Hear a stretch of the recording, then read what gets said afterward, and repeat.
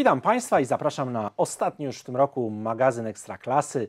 E, Pogoda zaskoczyła drogowców, nie tylko ich, ale i całe środowisko piłkarskie. Ostatnia, właściwie ta pierwsza wiosenna kolejka e, została przesunięta na wiosnę, więc możemy podsumować wszystko to, co wydarzyło się na jesieni i w zimie. E, Ze mną w studiu Konrad e, Mazur. E, Nie pytam, co jest dla Ciebie największym zaskoczeniem, bo na pewno pozycja lidera Jagiellonii Białystok, o tym zaraz będziemy rozmawiać. A co in minus? Czy ta postawa Lecha Poznań, mistrza Polski, czy, czy może Krakowia? Jeżeli chodzi o, o mistrza Polski Olecha, to, y, to wiadomo, że zaskoczeniem jest pozycja, jaką, jaką ten klub zajmuje. Natomiast jeżeli weźmiemy pod uwagę to, jak ten klub zaprezentował się w europejskich pucharach, pokonał Manchester City, e, potrafił dwa razy zremisować z Juventusem i awansować do dalszej fazy, to jednak y, wiadomo, że inaczej klub mobilizuje się na, na rozgrywki ligowe, inaczej na europejskie puchary, jeśli w nich występuje. Także to jest mniejsze zaskoczenie niż to, co się dzieje w tym momencie w Krakowie. E, Przed sezonem prezes Filipiak mówił, że to jest zespół, który będzie walczył o europejskie puchary. Dziennikarze byli z tym zgodni, ponieważ e, efektowne transfery, e, transfer Saidiego czy powrót Arkadiusza Radomskiego wskazywały na to, że ten klub będzie mocny i na pewno będzie się bił w czołówce. Krakowa jest dla mnie największym zaskoczeniem.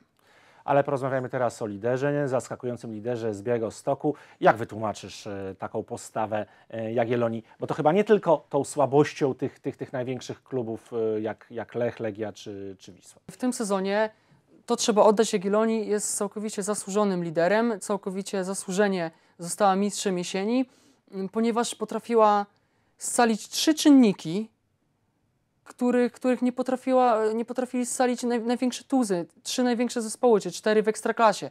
Po pierwsze, y, Jagiellonia prezentowała przez cały czas równą formę. Y, Nie było takiej sytuacji, żeby piłkarze z Białegostoku przegrali dwa mecze z rzędu w lidze. Tylko raz y, byliśmy świadkami wydarzenia, by piłkarze probierza nie zareagowali na, na porażkę kolejną stratą punktów, czyli oni zawsze wygrywali. Jeżeli chodzi o tą formę jeszcze, no to wiadomo, że jak było z Lechem, jak było z Wisłą, te zespoły po prostu miały kryzysy. Jagiellonia tych kryzysów nie miała. Kolejna rzecz, drugi czynnik to jest lider formacji ataku. Tomasz Frankowski strzelając 8 goli przyczynił się do, do, do tego, że Jagiellonia dziś jest na pozycji lidera i tego nie da się zaprzeczyć. E, Problemy, problemy z, z strzelaniem goli były w Legii, w Lechii czy, czy w Bełchatowie, gdzie tam nie było tych liderów.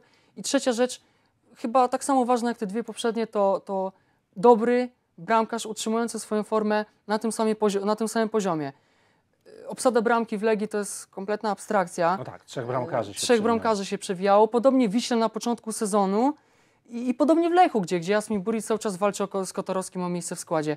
W Jagiellonii Grześ Sandomierski przez cały okres y, pie- y, rundy jesiennej grał na fantastycznym poziomie i dlatego między innymi przez te trzy czynniki Jagiellonia jest, Jagiellonia jest liderem.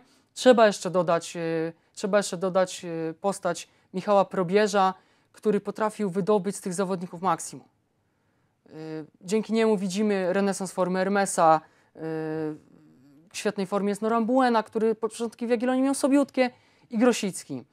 Dodatkowo trener Probierz jest dla piłkarzy tym, tym człowiekiem, o którym mówił zawsze w wywiadach, o którym mówił zawsze Gabriel Batistuta, który wzbudza uczucie takie, że oni, to jest pomiędzy strachem a zachwytem. To jeszcze powiedz, czy Twoim zdaniem e, Jagiellonia ma na tyle silną kadrę, e, żeby na wiosnę zachować tą e, formę i zachować tą pasę i bić się o, o Mistrzostwo Polski? Wszystko zależy od tego, jak trener Probierz przygotuje zespół do, do rundy wiosennej, no ale wzmocnienia są potrzebne. Prezes Kulesza zapowiada, że takie wzmocnienia będą, ale ja się boję, że, że tam też mogą być ubytki w składzie, ponieważ coraz głośniej mówi się o tym, że Kamil Grosicki zmieni klub. E, Kilku piłkarzy Jagiellonii również jest rozchwytywanych. Chociaż pamiętajmy, że, że przed tym sezonem z Jagiellonii odszedł Bruno. Mówiło się, że to będzie olbrzymie osłabienie zespołu, a jednak Probierz potrafił znaleźć jego, jego zastępcę. Wszystko, wszystko jest teraz w rękach trenera. Oni mają odpowiednią przewagę. Jeśli dobrze przygotują się do, tego, do tej rundy, to będą mistrzem Polski.